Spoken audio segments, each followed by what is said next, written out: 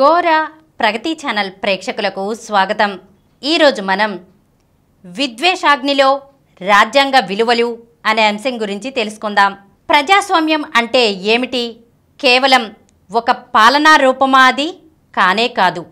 Doctor BR Ambedkar అభివర్ణించినట్లు పరస్పర సహకార భావంతో ప్రజలందరూ కలిసిమెలిసి ముందుకు సాగాలనే జీవన తత్వం అది.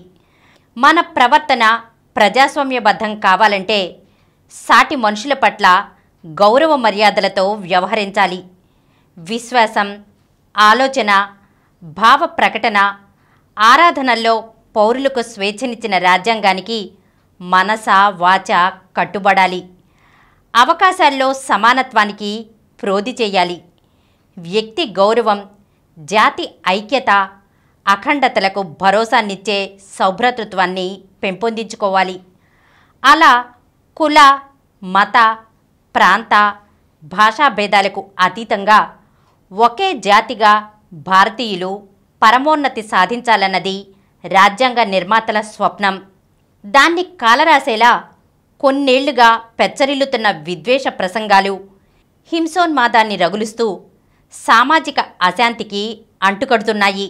సంకుచిత భావజాల ప్రచారంతో జనభారతంలో చీలికలకు పాలుపోస్తూ దేశ సమైక్యతను అవి దారుణంగా దెబ్బతీస్తున్నాయి. విద్వేష భావనలను వ్యాప్తి చేసే అటువంటి అవాంఛనీయ వ్యాఖ్యలకు పాల్పడే వ్యక్తులపై సుమోటోగా కేసులు నమోదు చేయాలని ఇటీవల అన్ని రాష్ట్రాలు కేంద్రపాలిత ప్రాంతాలను సుప్రీంకోర్టు ఆదేశించింది.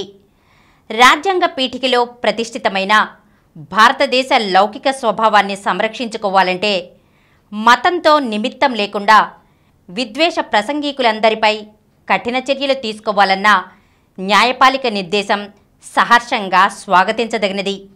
ప్రజా సమూహాల నడుమ వైమనస్యాలను ప్రజ్వరిల్ల చేసే ఉపన్యాసాలపై సర్వోన్నత న్యాయస్థానం తరచూ ఆందోళన వ్యక్తం చేస్తూనే ఉంది. తన తాజా ఆదేశాల అమలులో అలసత్వాన్ని కోర్టు ధిక్కార నేరంగా పరిగణిస్తానని సుప్రీం హెచ్చరించిన దరిమిలా విద్వేష నేరాల కట్టడికి రాష్ట్రాలు ఎటువంటి చొరవ తీసుకుంటాయో చూడాలి. పుట్టుక కులం మతం సంప్రదాయాలపై ఆధారపడిన మధ్యయుగాల పద్ధతి నుంచి భారతావనిని బయటకు తీసుకురావాలి. చట్టం ప్రతిభ లౌకిక విద్య అనే ఆధునిక పునాదులపైన మన వ్యవస్థ పునర్నిర్మించాలి.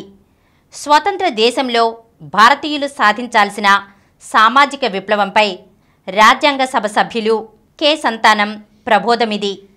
ఆ లక్ష్య సాధన వైపు జనావళిని వడివడిగా నడిపించాల్సిన రాజకీయ నేతలు స్వార్థ ప్రయోజనాల కోసం ప్రజలను చీకటిదారుల్లోకి తీసుకెళ్తున్నారు. కులమతాల పేరిట నిప్పులు రాజేస్తూ ఎక్కడికక్కడ ఓట్ల చలిమంటలు కాచుకుంటున్నారు. ఆ క్రమంలోనే జనసమూహాల నడుమ శత్రుత్వాలకు పాదులు తవ్వే విద్వేష ప్రసంగాలు ఊరువాడ ప్రతిధ్వనిస్తున్నాయి. అటువంటి వాటిపై నమోదైన కేసుల సంఖ్య రెండు వేల పద్నాలుగు ఇరవై మధ్యకాలంలో ఐదు వందల శాతం మేరకు ఎగబాకింది. కానీ సంబంధిత కేసుల్లో శిక్షలు పడుతున్నవి ఇరవై శాతం కంటే తక్కువేనన్న విశ్లేషణల సారాంశం జాతి శ్రేయస్సుకు విఘాతకరమవుతున్న విద్వేష నేరాలకు అడ్డుకట్ట వేయడంలో వ్యవస్థ వైఫల్యానికి అద్దం పడుతోంది. ప్రజాస్వామ్యానికి ఊపిరి పోసేది ప్రజల భావప్రకటన స్వేచ్ఛనన్నది వాస్తవం. కానీ ఆ ముసుగులో అల్పసంఖ్యాక వర్గాలు రాజకీయ ప్రత్యర్థులపై విద్వేషాన్ని నూరిపోయడం అంగీకారయోగ్యం కాదు. సామాజిక మాధ్యమాల వినియోగం ఇంతలంతవుతున్న కొద్దీ ఆయా వేదికల్లో ద్వేష వ్యాఖ్యలు కట్టలు తెచ్చుకుంటున్నాయి. పోను పోను తీవ్రతరమవుతున్న విద్వేష ప్రసంగాల ముప్పును కాచుకోవడానికి భారతీయ శిక్షా స్మృతిలో కొత్త నిబంధనలను కొలువు తీర్చాలని లా కమిషన్ గతంలోనే సిఫార్సు చేసింది. విషతుల్యమైన ఉపన్యాసాలకు మౌన ప్రేక్షకులుగా ఉంటున్నారేమిటని లోగడ కేంద్రాన్ని సర్వోన్నత న్యాయస్థానమే నిగ్గదీసింది. విద్వేష వ్యాఖ్యల నిరోధానికి ప్రత్యేక చట్టం చేసే ఉద్దేశమేమైనా ఉందా అని అది ప్రశ్నించింది. సామాన్య జనజీవన భద్రతకు చట్టపరంగా అటువంటి ఏర్పాట్లు ఎంత అవసరమో కులమతాల కార్చిచ్చులను ఎగదోసే రాజకీయాలకు పార్టీలు దూరం కావడం అంతే ప్రధానం. ఈరోజు మనం విద్వేషాగ్నిలో రాజ్యాంగ విలువలు అనే అంశం గురించి తెలుసుకున్నాం కదా? మరొక అంశంతో మళ్ళీ కలుద్దాం.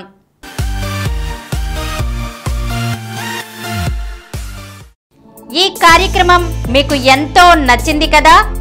ఇటువంటి మరిన్ని వీడియోల కోసం అనతి కాలంలోనే ఇరవై కోట్ల వ్యూస్కు చేరువలో ఉన్న డాక్టర్ సమరం మల్టీ ఛానల్ నెట్వర్క్ సమర్పించు. ఘోర ప్రగతి ఛానల్కు సబ్స్క్రైబ్ చేయండి లైక్ చేయండి మీ ఫ్రెండ్స్కి షేర్ చేయండి. అలాగే ప్రక్కనున్న గంట సింబల్ని ప్రెస్ చేయడం మర్చిపోకండి. Download Samaram multi-channel app and watch your favorite channels from your mobile. App available on Google Play Store and subscribe to the channels.